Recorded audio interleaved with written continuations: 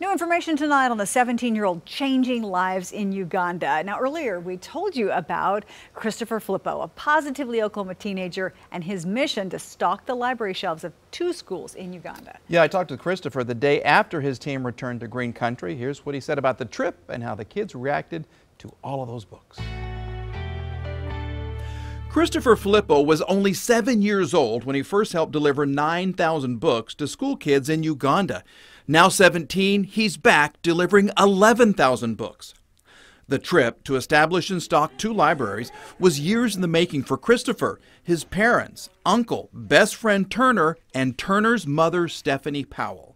You know, she wanted to help improve the situation and uh, and be there for the kids because she's also a librarian actually. They traveled in this giant bus, precariously positioned between stacks of boxes, delivering books and supplies to Cobbs High School 10 minutes outside of Jinja and Chabazinga, an elementary school two hours further away but we needed something big and heavy uh, just to get all the books there as well as the supplies. A treacherous journey involving three tons of supplies and poorly maintained roads. The difficulty was the potholes the size of the car. But they had a job to do and limited materials to use. The shelving we put together for the library was some really high dollar stuff. You know, it was. Uh, boards and stones and Christopher says these kids were so excited they carried the books from the bus to the school and painted the shelves of their brand new library waiting for the moment the door would open. About 50 high school students flooded a 20 by 20 foot room. They swarmed that and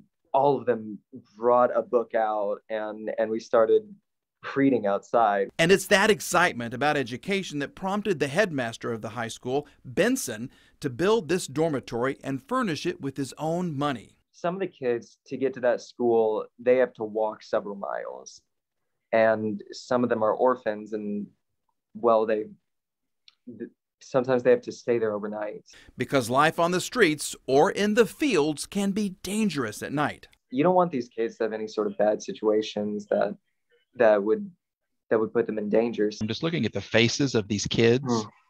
and they seem so thankful. Yeah. Did something happen between you and, and one of the kids that was like, okay, this is this made it all worthwhile? Yes, I, I think there was a moment like that. He was a short little guy, um, but his name was Dennis. He wasn't just going through the book looking for pictures.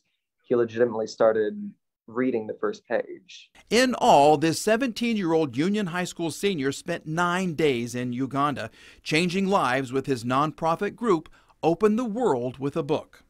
But he's not stopping there. He already has plans to deliver even more books to other kids hungry to learn. The program is wanting to, to go to other places, uh, like Ecuador, for example, or, or Venezuela. There you go. They just need some books that are in Spanish for that trip. Yeah.